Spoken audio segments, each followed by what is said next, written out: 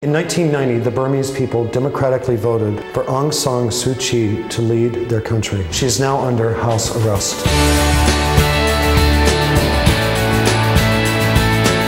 Without political freedom, how can there be democracy in Burma?